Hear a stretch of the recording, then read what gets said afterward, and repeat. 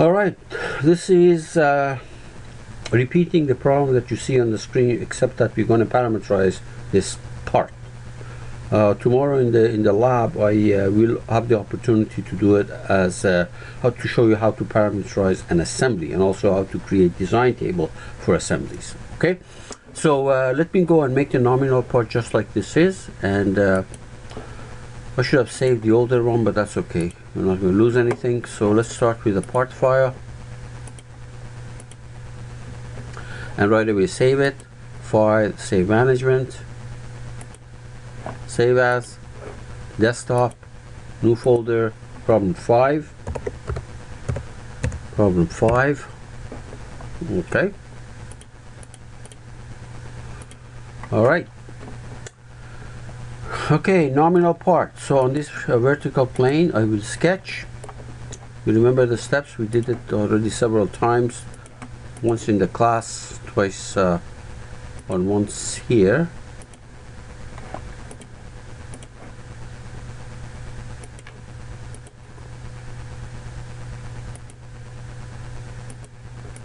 Okay uh, let's make this thing symmetric. So the uh, I can say line line the middle axis symmetric or I can do point control point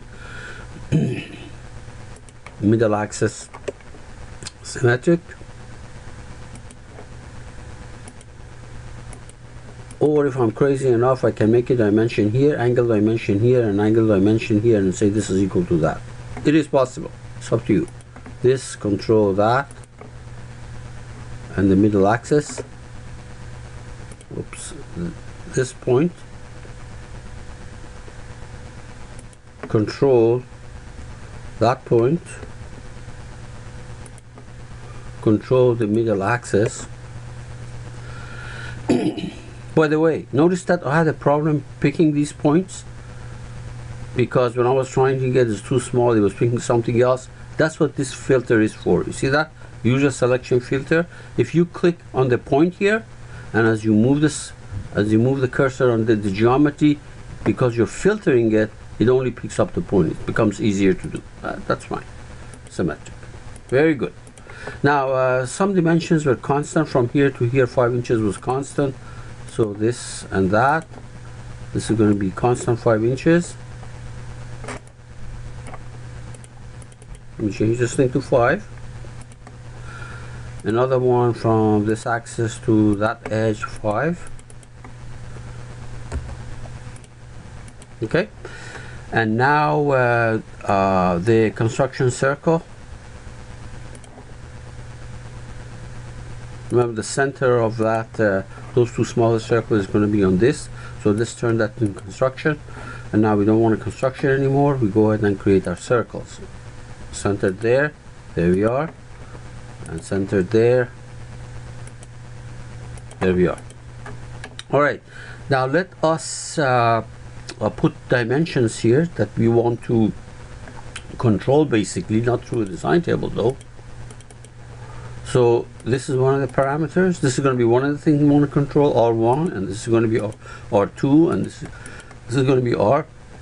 This angle is going to be I believe later on uh, I'll call this thing beta and this is going to be alpha. Alpha. Exit. Pad it and me say okay. Now all right so uh, notice that when I was doing design table I went to f of x. I went to f of x I click on this and I renamed all these dimensions. This is not what I'm going to do though. I'm not going to rename things. Down here you see down here? Down here there is a, a box which says new parameters. And the type right now is length but you can change it to angle eh, you know a bunch of other stuff.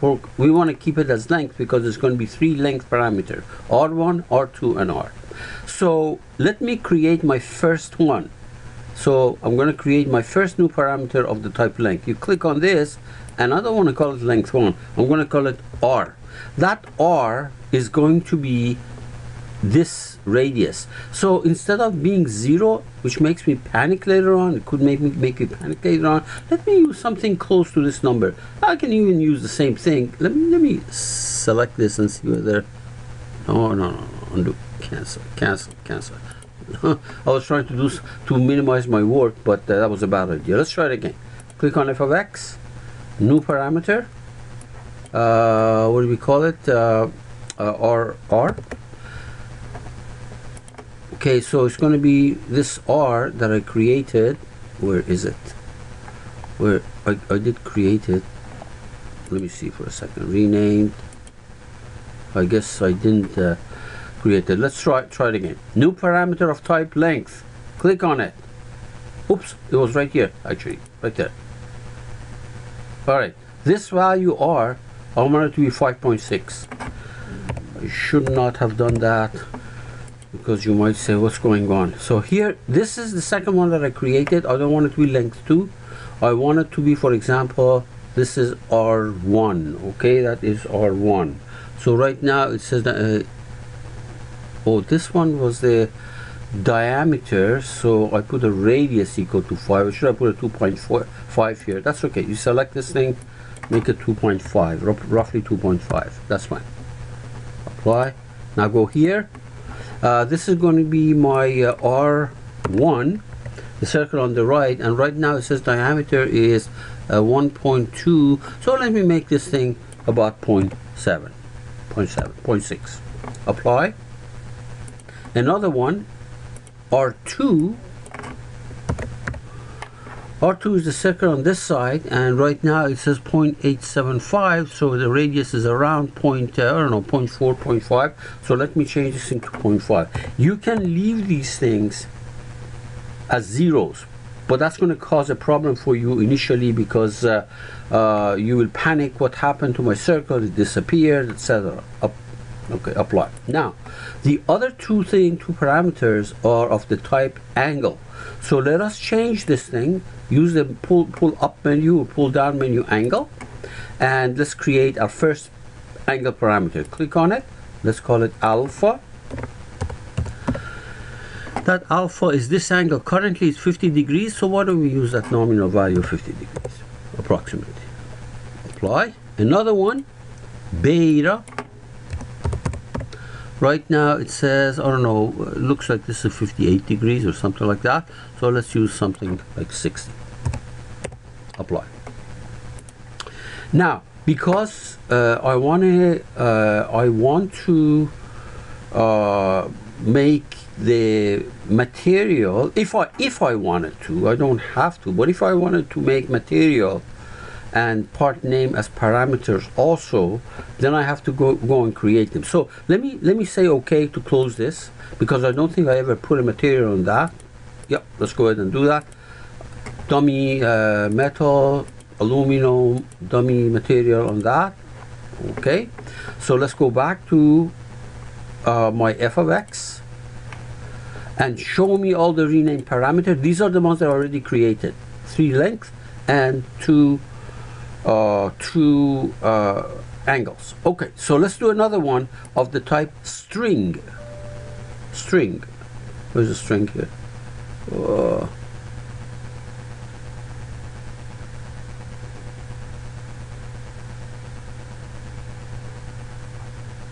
It must be somewhere on the top. Oh, oh, string right there on the top, right there. Okay, string. Let's call this thing, uh, create the first one. And let's call this thing my mats. My mat, my material. And nominally, right now, there's nothing. So why don't I call it gold, for example? Gold. Gold. Apply. And then another one for part name. So another one, I'll call it uh, uh, my name, my part name, okay? And of course, there's nothing there, so let's call it, uh, how about A001, serial number 001, apply. All right, good.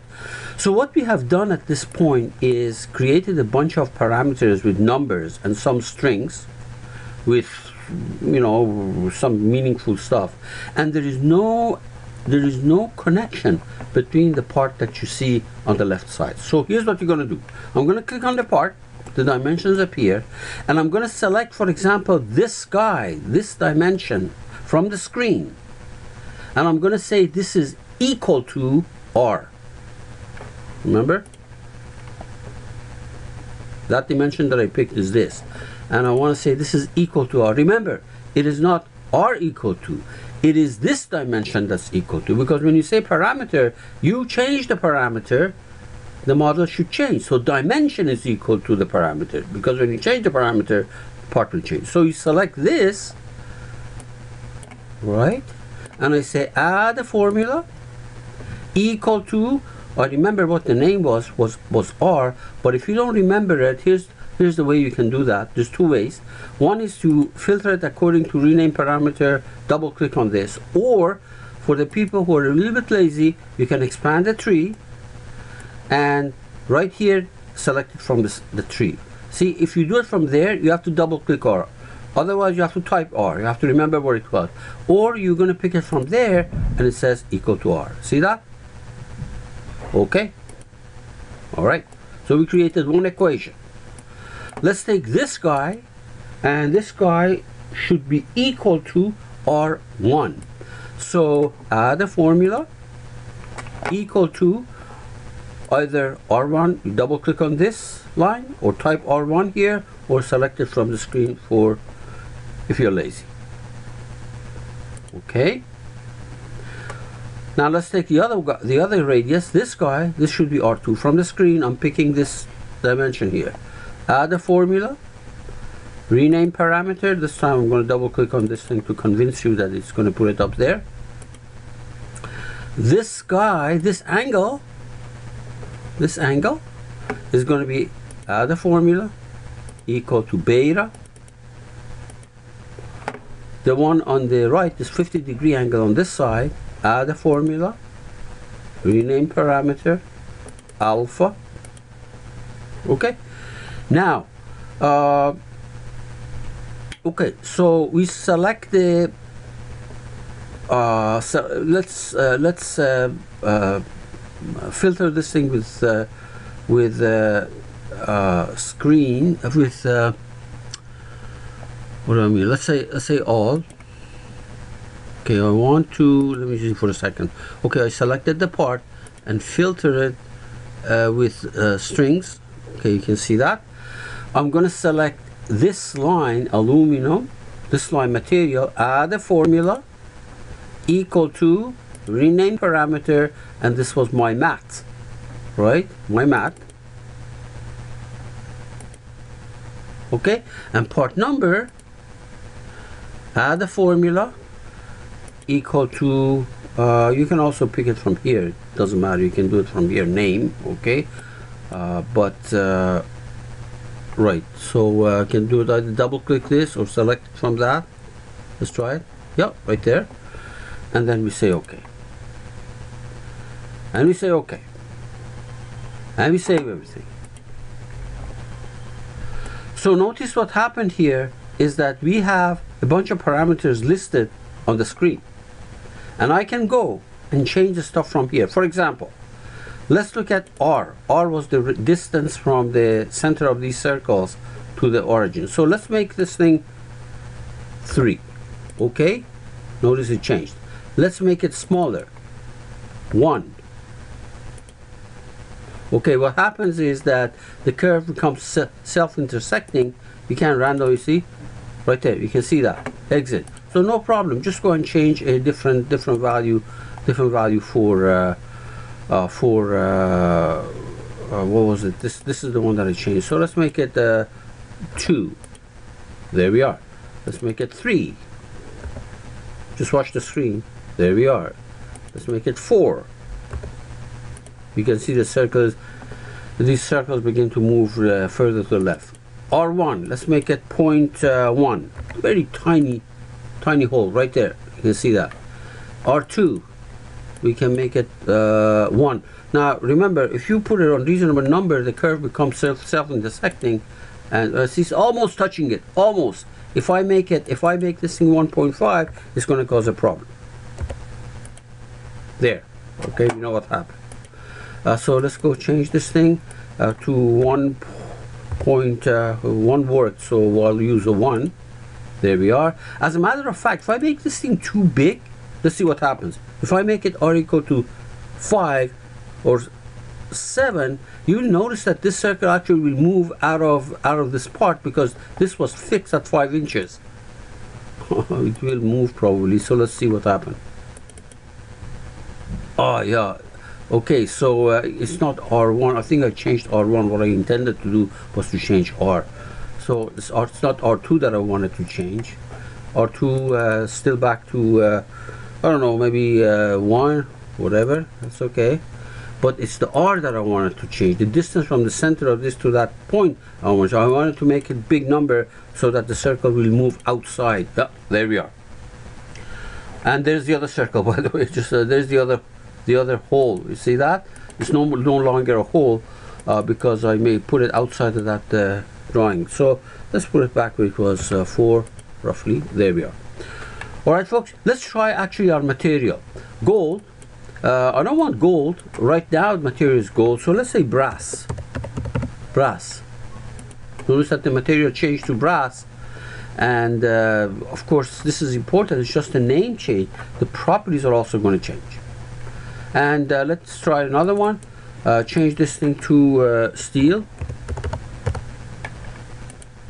see that it changed and change the name uh, for example my uh, I don't know serial number serial number five six seven four five six.